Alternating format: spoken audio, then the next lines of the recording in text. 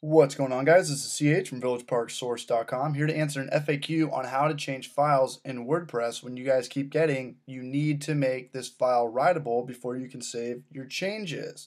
Alright, so let's go ahead and change the permissions to 777 and it's very easy and it doesn't matter if you're on a website that's already being hosted or if you're just on your own computer aka localhost which is what I'm on.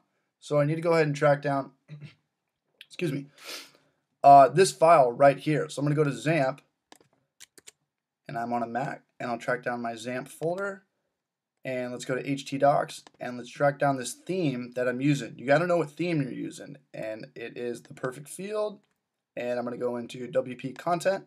Here's my themes, and here it is right here. I'm using the e-commerce thing right here. This is the one that I currently have activated or loaded. I'm going to open it up, and I'm going to find my style.css file right here for my e-commerce theme. So it's right here. So let's right click on this. Don't open it with a text editor. Click on get info.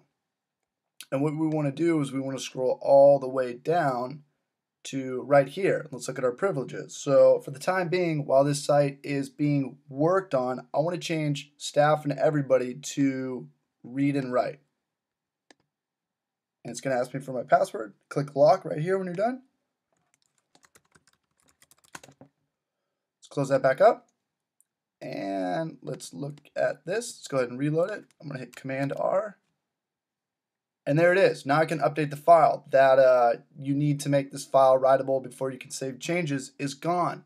But make sure that when you're done, you know, editing whatever file you're doing, whether it's your header.php file or your style sheet, when you're done with it, go back to whatever file that you're working on and let's close these up because when they're open, they're extremely vulnerable to somebody hacking into your site. So when you go back, go to read only, go ahead, lock it back up.